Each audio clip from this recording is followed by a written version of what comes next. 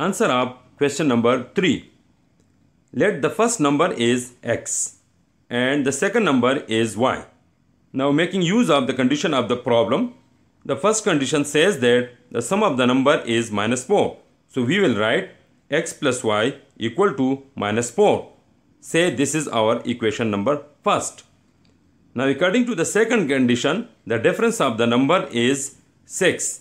So we will write x minus y equal to 6 and mark this as our equation 2.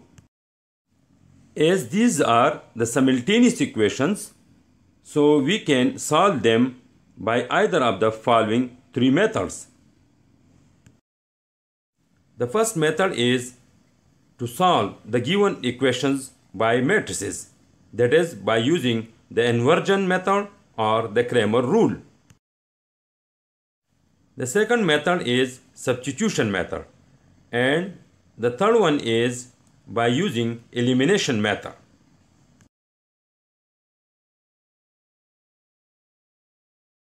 Here we will try to use both the second and third method that is the substitution method and the elimination method combined.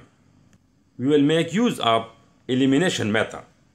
Okay, so by adding equation 1 with 2, here we will cancel y with y because one is positive and the other is negative. So this is what we call the elimination method. Actually we are eliminating y. So after doing this we get 2 times x equal to 2. Now dividing each side of this equation by 2 we get x is equal to 1. So one of the number is x is equal to 1. Now we want to make use of the substitution method.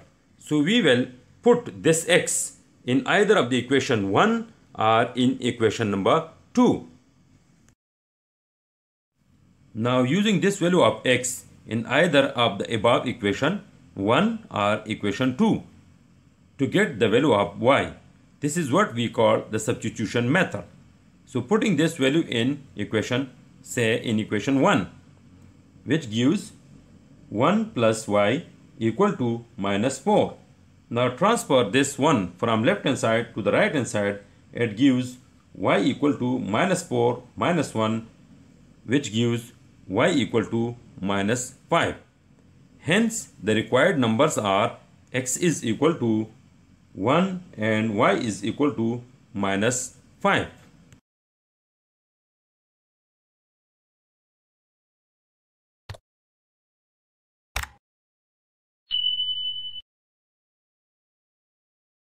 Question number 4.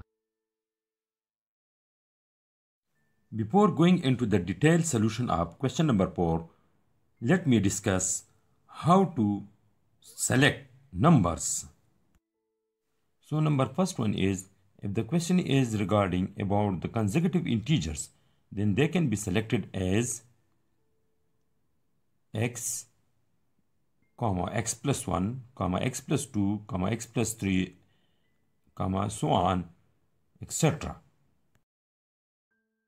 Second, if the question is regarding about the consecutive odd integers, then they can be selected as 2x plus 1, comma 2x plus 3, comma 2x plus 5, comma and so on.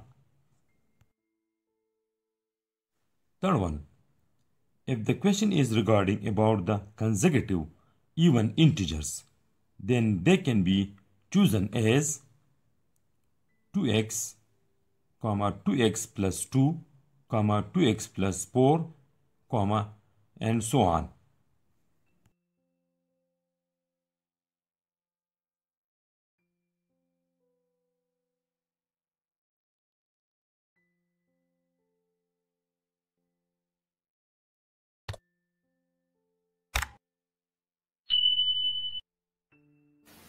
Now coming to question number 4. It says that the sum of three consecutive odd integers is 81. What are the integers? Since in this question we are asked about the consecutive odd integer, so we will select the numbers like 2x plus 1, 2x plus 3, 2x plus 5. So we suppose that the required consecutive odd integers are 2x plus 1, comma 2x plus 3, comma 2x plus 5. Now according to the given conditions, we have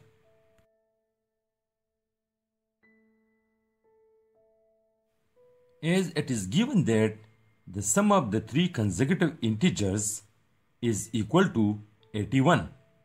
So we will add these three numbers and will equate them to 81. First, we want to add the terms involving x. So it gives 6x. And then next, we want to add the constant. That is 1 plus 3 plus 5 gives 9. Now the obtained equation is clearly a linear equation in x.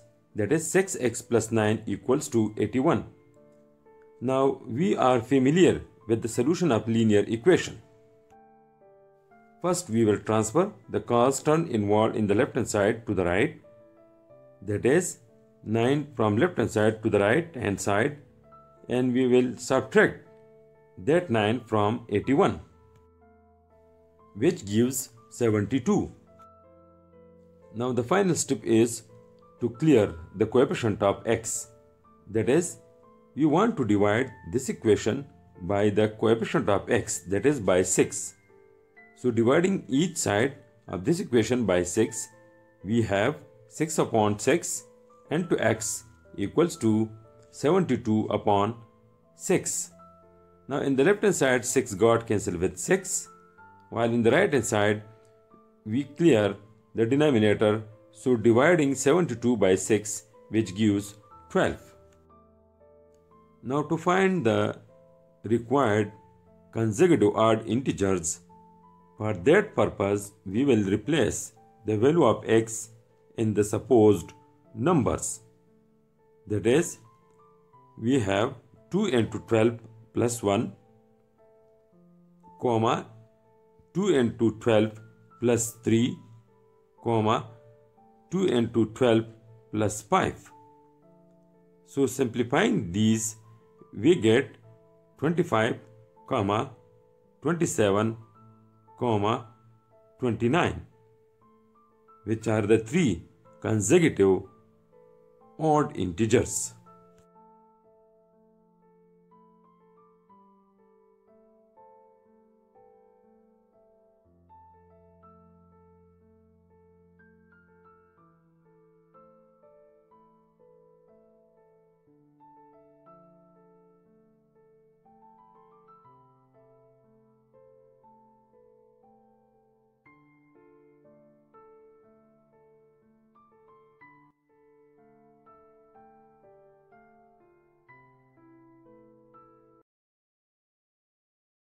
Now moving toward question number 5 which says that a man is 41 year old and his son is 9 years old.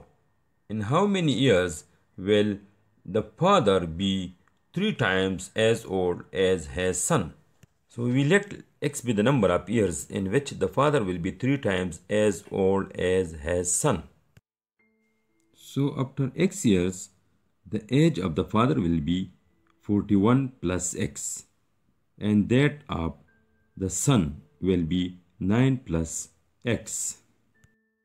Now utilizing this condition we get 41 plus x is equal to 3 times 9 plus x. Now here we will apply distributive property of multiplication over addition. So this will become 41 plus x equal to 3 multiplied by 9 plus 3 multiplied by x. Now clearly 3 times 9 gives 27. So we have to transfer like quantities of one kind that is x and 3x to one side and 41 and 27 to the other side of the equation. So 41 minus 27 gives 14 while 3x minus x gives 2x. Now dividing both sides of this equation by 2 to get the value of x. So we have 14 upon 2 is equal to 2x upon 2. Now in the right hand side 2 got cancelled with 2.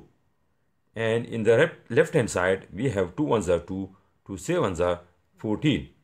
So the value of x is now 7. So after 7 years the father will be 3 times as old as his son.